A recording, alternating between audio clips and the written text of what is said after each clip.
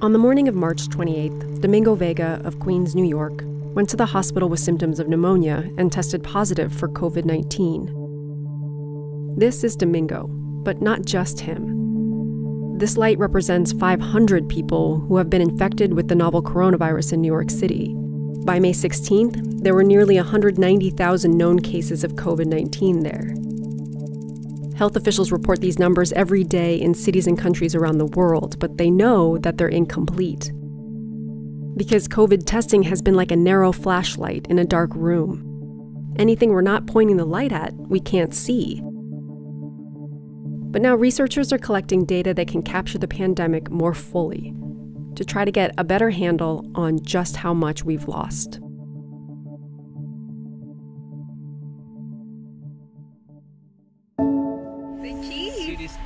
Limited.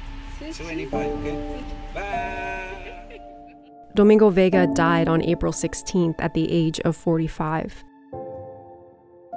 Originally from Mexico, he came to the US when he was 16 and worked in restaurant kitchens since then, eventually launching his own business with two locations in Brooklyn. He and his wife had three children. Domingo was one of 20,720 New Yorkers whose lives were cut short by the coronavirus as of May 16th, according to the city's count. Each blue light represents 500 known deaths from COVID 19 and 500 families who don't need data to tell them how dangerous this disease can be.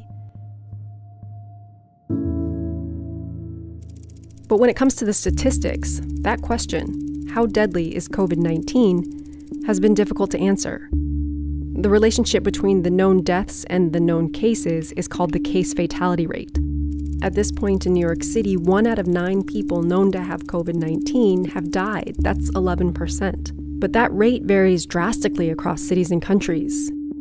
It was over 12% in Sweden in mid May, but less than a percent in Iceland. And it also changes over time. For the US, it dropped down to 1% near the end of March before climbing back up as people who tested positive several weeks prior ended up dying. When the case fatality rate varies this much, it's saying a lot more about these countries than about the disease itself. For example, deaths may be higher in places where the health system is overwhelmed or where the population is older. We know that COVID 19 is more deadly in seniors, and especially those over 75. But also, on the other side of the fraction, the rate reflects how much testing is happening. If a country is aware of more non fatal cases, their case fatality rate is lower. So, this statistic isn't all that useful because we know most countries are missing cases, and we're learning that we're also missing deaths. According to an estimate by the New York Times, there have been thousands of deaths that weren't included in the official count for New York City. We don't know for sure if it was coronavirus that killed them, but here's what we do know if you look at 2017, 2018, and 2019, and chart the average number of deaths per week, the line looks like this. It includes deaths from all causes. For 2020 so far, that line of weekly deaths looks like this. The area above the typical level is called excess deaths by researchers, and it gives us a fuller picture of the cost of this pandemic. We're seeing excess deaths in many places that have suffered big outbreaks, in each case, the excess deaths are higher than the official count of COVID deaths. It includes people who may have died from other causes, but who were unable or unwilling to access medical care because of the pandemic. But it also includes some people with coronavirus who weren't counted because they died at home or in care facilities or were never diagnosed. As this data comes in, it shows us that in some places, the pandemic is even more deadly than we thought but the virus itself may be less deadly because we're also learning that a lot more people have been infected than the official tallies show.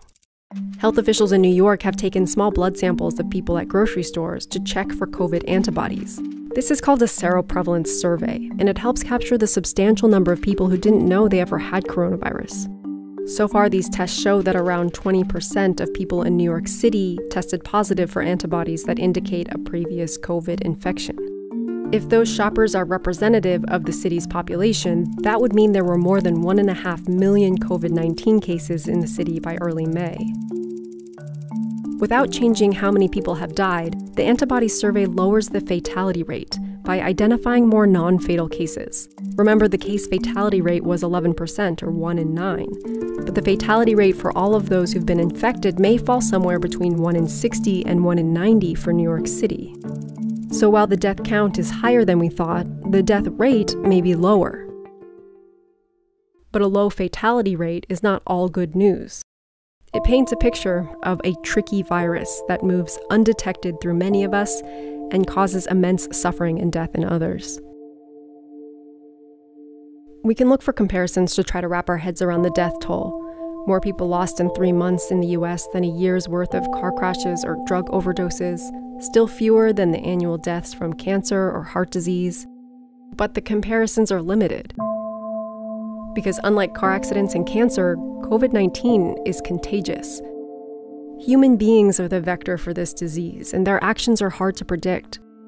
So, even with better data on how many are infected and dying, we won't know the full death toll of this pandemic until we find out how it ends.